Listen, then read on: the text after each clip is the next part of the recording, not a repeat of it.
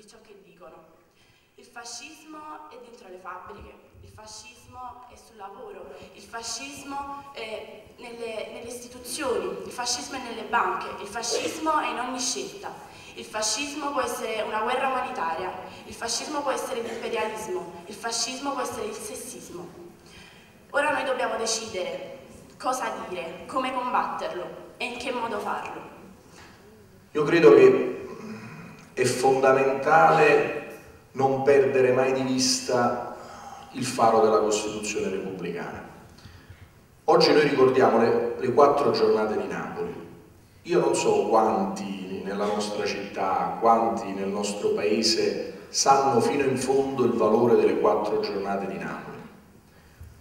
Napoli è l'unica città d'Italia che si è liberata autonomamente dall'occupazione nazifascista. Poi sono arrivati gli alleati.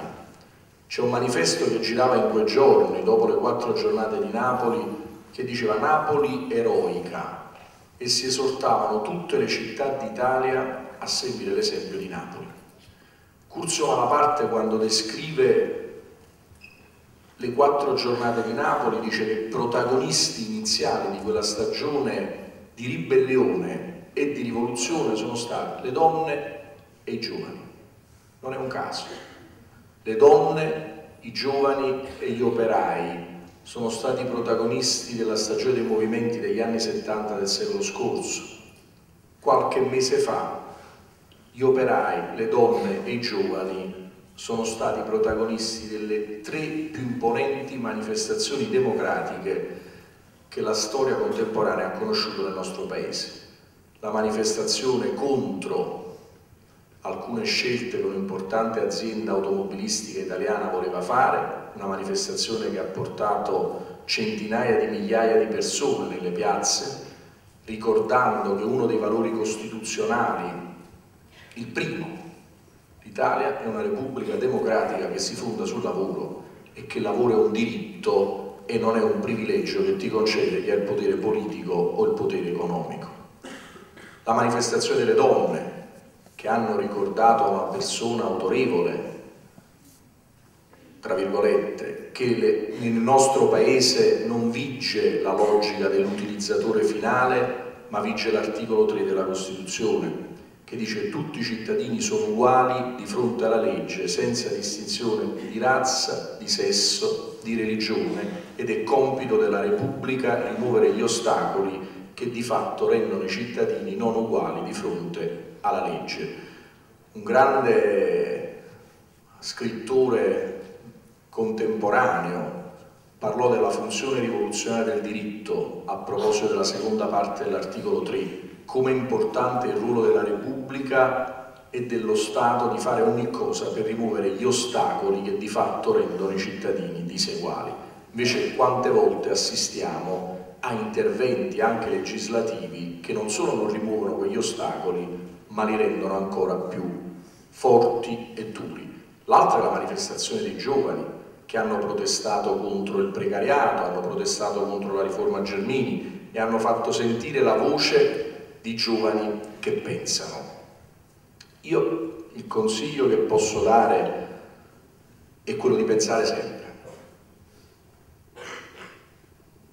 La scuola deve essere il luogo ideale insieme ad altri in cui si esercita un altro articolo fondamentale della nostra Costituzione, l'articolo 21, la manifestazione del pensiero è libera. Non vi uniformate mai al pensiero dominante o al pensiero conformista.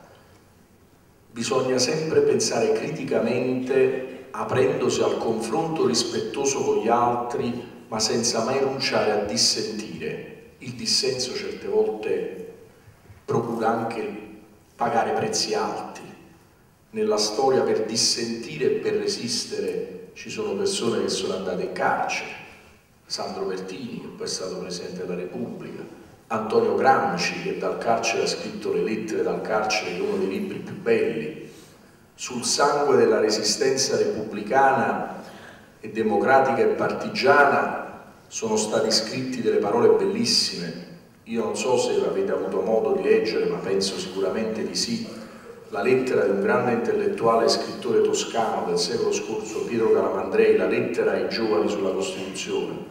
La Costituzione non è una cosa morta o una lettera morta, la Costituzione viva, è nata sul sangue di chi ha fatto la resistenza e la vita di quella Costituzione dipende esclusivamente da voi e da noi.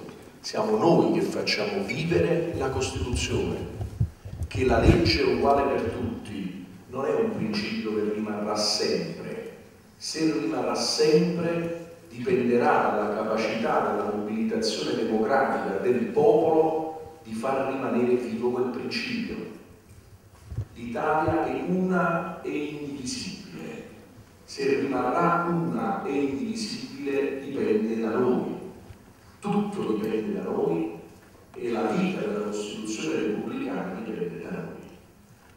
Non è un caso che chi detiene il potere la vuole modificare, perché la Costituzione è un faro democratico. Faccio un esempio, qualcuno di voi avrà letto sicuramente il dibattito che c'è in questo periodo sulla modifica della Costituzione di un articolo secondo me molto importante, siccome vedevo che tu parlavi di classe operaia e di lotta di classe, l'articolo 41 della Costituzione, che dice il primo e il secondo comma, vanno letti tutti e due insieme, l'iniziativa economica privata è libera, poi dice il secondo comma, ma non può mai andare in contrasto con l'utilità sociale. Qualcuno vuole eliminare il secondo comma e scrivere semplicemente, lasciare scritto semplicemente l'iniziativa economica privata è libera non va bene, perché noi dobbiamo sempre avere come obiettivo il bene comune e l'utilità sociale. Una delle prime cose che abbiamo voluto fare al comune è quello di dire che l'acqua che io dopo bevo è acqua pubblica, è un bene comune. L'acqua non può essere privatizzata, non può essere oggetto del profitto. Ci sono alcuni beni che non possono essere oggetto di profitto e avere un prezzo, perché altrimenti ci può essere qualcuno che non se la può permettere. E noi oggi dobbiamo ricordare, in un paese cosiddetto occidentalizzato, democratico, esempio nel mondo, che milioni di persone muoiono perché non hanno acqua e non hanno cibo. Invece noi ogni giorno leggiamo i giornali e dobbiamo dire dobbiamo terrorizzarci dall'idea che le borse sono in difficoltà, che i mercati calano. Andate a parlare di borsa e di mercati e di speculazioni nel centro Africa, nel sud dell'Africa o nell'America Latina. Vogliamo incominciare a pensare che il bene comune non è consumare tanto, troppo e sempre. Bene comune non è avere, ma essere non è chiederci quanto hai, ma chi sei, che cosa hai dentro. Conta più apparire o essere? Conta più essere una velina o come quei manifesti che dicono io sono una escort e non sono una ragazza facile? O conta di più essere operaio, studente o persone che si alzano la mattina e devono vedere come fare per portare qualcosa a casa?